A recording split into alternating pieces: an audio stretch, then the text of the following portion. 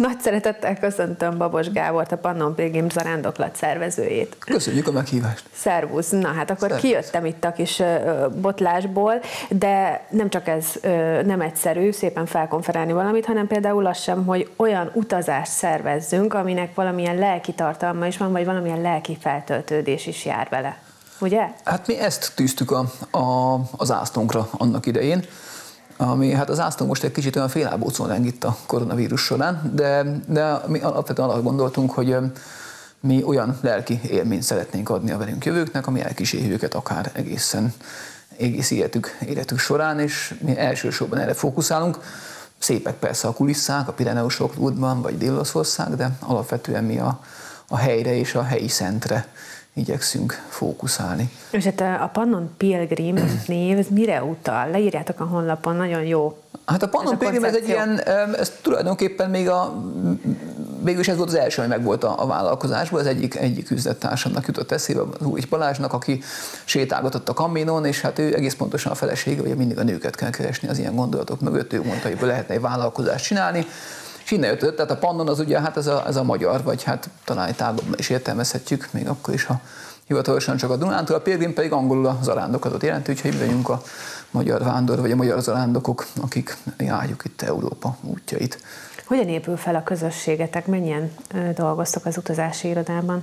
Hát az utazási irodában vagyunk hárman tulajdonosok, három egyetemi barát, és van egy, egy, egy alkalmazottunk, az egyetlen szakmabeli tulajdonképpen, Szidónia, ennyien végül is, igen, így, így vagyunk négyen, ebből is a többség most önkéntes egyelőre.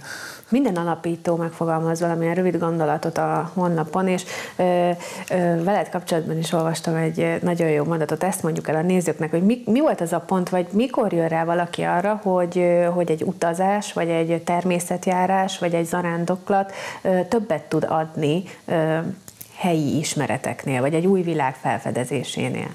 Hát ugye a, a, az emberiség végül is az elmúlt 50 évet, vagy mondjuk 80 évet eltekintve, hogyha valaki útra kelt, akkor az nem azért kelt útra, hogy a lábát lógassa a tengerparton, hanem valami, valami célja volt vele. Vagy Csak mert hogy azért manapság ilyet is látunk ám, sőt, ebből van sok. Ilyen, ilyen is, ilyen is, ilyen is van, van sok, de mondjuk a, a, a turizmus az inkább, inkább, ugye, inkább a, a szabadidő kellemes vagy hasznos eltöltéséről szól, és mi egy picit így visszakanyarodtunk így a, a, a gyökerekhez, amikor azt mondtuk, hogy amikor az ember elmegy valahova, akkor nem csak jól érzi magát, hanem ebből épülhet is épülhet szellemiekben, mondjuk, hogyha elmegy ösztöndíjasnak valahova, vagy kitanul egy mesterséget, mint annak idején, vagy hát épülhet lelkiekben is, amikor útra kell.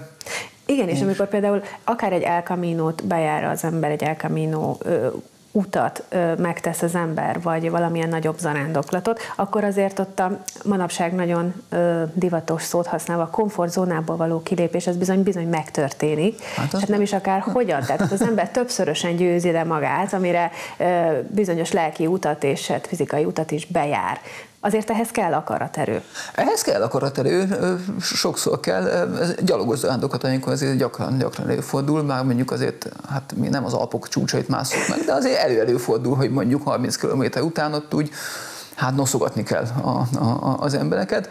De hát az a, az a tapasztalata, ez szerintem, aki valaha csinál cselkésztábort, az már tudja, hogy az igazán nagy élmények az nem azok, amikor minden tökéletesen sikerül, hanem amikor valami, valami megecsen, vagy legalábbis látszólag, látszólag megroppan, és akkor utána visszanézünk, és láttuk, hogy ezt, ezt megcsináltuk, és, és ez az, amit igazán haza tudunk vinni, hogy én fölmásztam Radikó Faniba 800 méter magasra, vagy iszonyú hosszúnak tűnt, de amikor fölértünk, akkor látjuk, hogy itt vagyunk, és akkor, akkor mögöttünk van valami. És hát ez egy picit ugye, ha már fölfelé megyünk, akkor nyilván egy kicsit még följebb is irányíthatjuk a tekintetünket, akár az ég felé. És hát kifejezetten szentekre épülő zarándoklatokat is szervez a Pannon Pilgrim utazási iroda.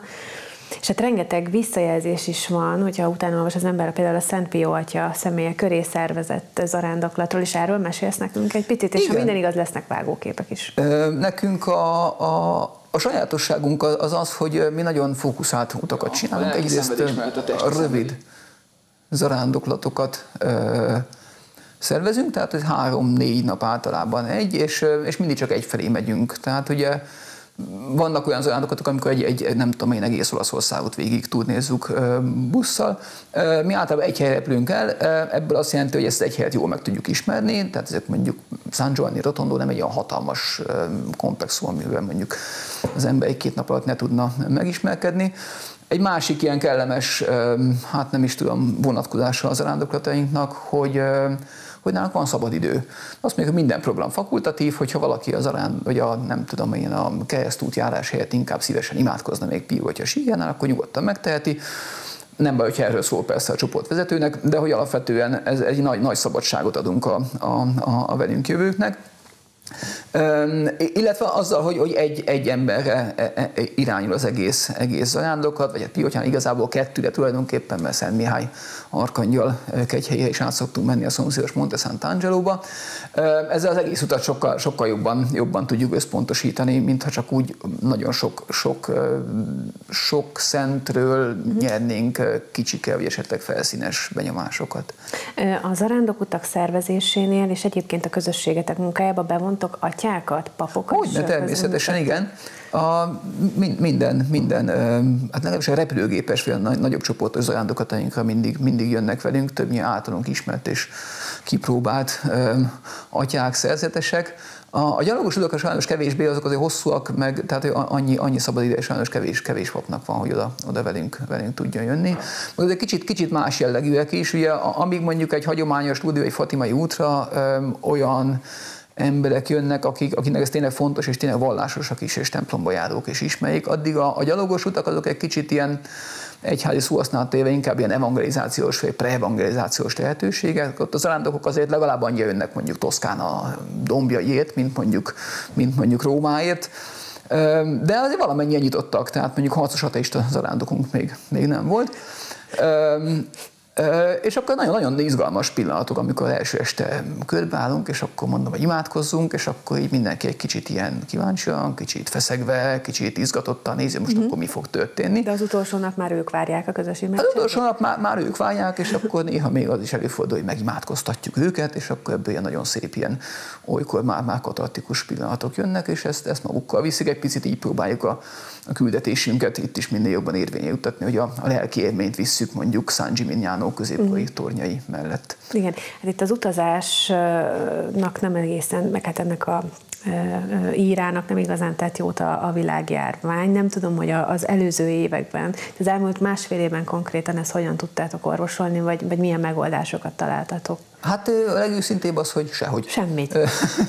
2020 tavaszán gyakorlatilag befagyasztottuk a, a Pannon Pilgrimet, és most ősszel próbáltuk kiolvasztani, küzdve bürokráciával, pénzintézetekkel, mi egyébbel, és végül is novemberben eljutottunk egyszer a már sokszor említett Piótyához, Dél-Olaszországba, illetve a Fatimai szűzanyához, és úgy tűnik, hogy működik, óvatosan, lassan, maszkban, távolságot tartva, oltási igazolványokat lobogtatva, de, de tulajdonképpen megy, tehát hogy nem, nem nagyobb az esély annak, hogy megfertőződjünk kint, mint, mint idehaza, illetve változik, hogy mikor, mikor mennyi. Amikor mi voltunk, akkor éppen idehaza volt a negyedik hullám, úgyhogy tulajdonképpen egy kicsit cinikusan elmenekültünk egy pár napra itt a koronavírus legnagyobb kiterjedés elől. Úgyhogy úgy tűnik, és most is úgy, úgy, úgy gyülekeznek a, a, az arándokaink szép csöndesen, tehát nem három nap alatt telik meg egy 40 fős út, de úgy tűnik, hogy el tudunk, el tudunk indulni hmm. lassacskán. A zarándok csoportokat illetően van konkrét szám, hogy hány fővel indul el egy zarándoklat, vagy, vagy nincs ilyen megkötés? Hát elvileg van ugye a, a, a törvény, az ki is mondja, hogy nekünk meg kell hirdetni, hogy mennyi, mi 25 uh-huh. embert szoktunk mondani, de hát ugye szokták mondani, hogy a, a, a szószék az kemény fából van, a gyuntatószék puha fából van, tehát egy kicsit engedékenyebb, mi is egy kicsit engedékenyebbek vagyunk, tehát hogy mondjuk most Fatimában például tehát 16-18-an voltunk, és Piótyánál is olyan, hát legfőjebb 20 körül, és végül is, végül is működtek a, a csoportok, tehát hogy Szóval mi is alkudozunk ugye inkább önmagunkkal, mint ugye lót az Úristennel, hogy hány igaznak kell lenni. Mert jó pár éve működik az, az utazási irodátok. Vannak konkrét olyan pillanatok vagy élmények, amiket esetleg meg tudnál velünk osztani, ami igazán Ó, hát gyönyörű volt? Hát nagyon sok. Most mondjuk a legutóbbi novemberben jött, jött velünk egy, egy idős hölgy, aki maga is sokat élt Olaszországban, és ő neki volt egy ilyen, egy ilyen belső indítatása, valami, valami régen el nem számolt ügye volt önmagával, az Úristennel valakivel, és mondta, hogy mindenki olaszul szeretné ezt meggyónni, és mondta Szent Angelóban, Szent Mihály Arkangyalnak a barlang bazilikájában van egy kifejezetten egy ilyen bűnbánati kápolna, és ott bement valami, valami atyához, és ez az atya nagyon intelligens volt, egyből, egyből levette itt valami, valami komoly dolog, vagy átküldte egy másik atyához, ahol meggyónt ez a hölgy, és hát, hát sírva jött ki. És ez egy felemelő, amikor, amikor ilyen, ilyen ilyen eseményeknek lehetünk a, a, a részesei, és hát hál' Istennek sok, sok ilyen van, tehát hogy kicsi, kicsike csodák. Az a tapasztalatunk, hogy minél, minél kisebb helyre megyünk, minél, minél inkább egy adott szentről szól az arándoklat, annál mélyebbek ezek az élmények. Tehát ebben a, a, a, a skála egyik vége az mondjuk Róma, ahol azért az úgy kicsit olyan turistásabb, és a másik vége az mondjuk Kassa, ahol Szentitán kívül hát gyakorlatilag lélek nincsen. Hát és hát ott azért, ott azért nagyon, nagyon, nagyon mély és nagyon megindító történetek voltak tényleg életről, halálról, csodákról, gyógyulásokról, az, az onnan nagyon, nagyon sok mindent hoztunk magunkkal. Minden zarándokatunkon igyekszünk egy, sőt inkább kettő ilyen, hát ilyen megosztókört összehozni, ahol egy picit, picit mindenki elmeséli azt, hogy, hogy őt mi fújt erre, mi az, vagy ki az, akit a szívében hoz magával, akiért könyörögni akar, vagy amiért hálát szeretne adni és az, azt, azt éljük meg, hogy ezek nagyon-nagyon gazdagítóak minden résztvevő számára, még nekünk is, akik már sokszor részt vettünk ezeken, ezeken az utakon, és nagyon-nagyon szép kapcsolatok szövődnek. Volt például egy másik történet szintén, amikor egy miskolci cigány család, aki állítólag nagyon, nagyon tisztességesen, de nem jutnak ötről hatra, valahogy róla került egy szó, és kiderült az egyik zarándokatunk, hogy egyébként egy meglehetősen jó módú vállalkozó, úgyhogy akkor mondta, hogy akkor ennek a cigány család új házának a jelentős részét azt így állja, és egyik munkatársunk jogász, ő meg is írta az ingatlan vételi szerződést, és hát ilyenkor nagyon megéljük azt, hogy, hogy egy picit az úrhez közei tudunk lenni, ami, ami nagyon, nagyon szép dolog. Én kívánom mindenkinek, hogy hasonló élményei legyenek. És hát a legközelebbi lehetséges ilyen élmények, tehát mikor várhatóak? Hát várhatóak, februárban Lourdesba megyünk, az, az az út, az, az most már úgy tűnik, hogy vagyunk annyian, hogy eddig is teljesen indulni. Március megyünk Szent Ritához, Kassába, lehet, hogy még hűvös lesz, de legalább nem lesz sok ember és aztán áprilisban lesz egy gyalogos zarándoklatunk a Via Francigena, Toszkánában, meg Láció tartományban, és hát egészen októberig vannak még útjaink, legalábbis terveink, ezt azt hiszem alázatosabban kéne mondani a világjárványban. Pio Atyához, Fatimába, Lourdesba, Dél-Lengyelországba is tervezünk menni egy ilyen Szent János Pál pápa nyomában, körülnézni Vadovicében, Krakóban.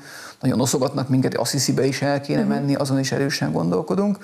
Úgyhogy hát elképzeléseből nincsen hiány, hát ember tervez, Úristen és a vírus pedig végez, úgyhogy reményük, hogy ebből minél többet meg tudunk valósítani.